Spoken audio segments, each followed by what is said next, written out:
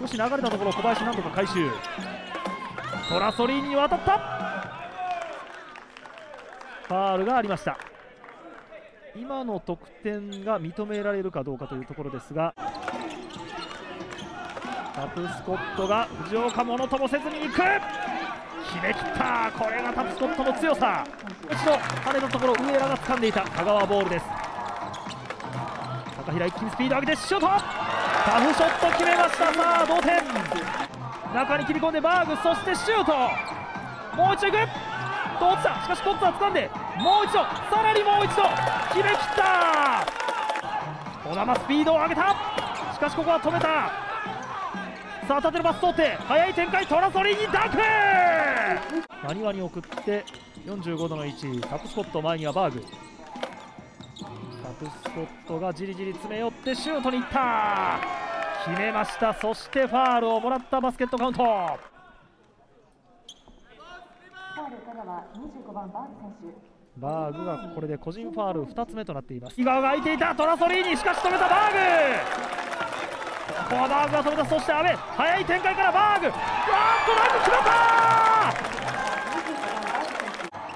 香川高平がゆっくりとボールを運びます外からバーグがシュートを狙った。決まりました。バーグのスリーポイントシュート。これで香川が60点に乗せた。さあ追いかける茨城。こちらも得点。すぐに行きたい。バウンスパストラソリンに渡った。振り返ってのシュート決めきります。シュート2本分の差にするべくこのオフェンス。得点に結びづらい。コッツァ走ってきたバーグが打ったがここはしっかりと止めた茨城。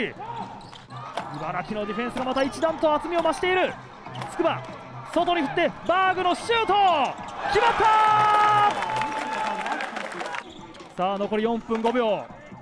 また香川がリードを奪ったトラソリーニがボールを持ってゴール下シュートに行く決めた!すぐさまひっくり返す。もうこうなったら取り合いだ。外に振ってバーグ。またスリーを狙った!リバウンドはここはタップスコット。縦パス通ってトラソリーニ。しっかりと決めた!ダンク!今日2本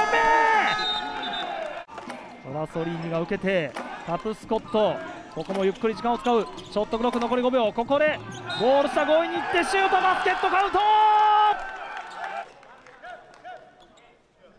昨シーズンの B2 得点王。さあそしてボールを運ぶ高平。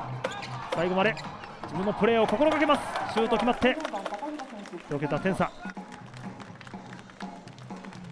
ブザーが鳴りました。試合終了。茨城ロボッツ6連勝。85対76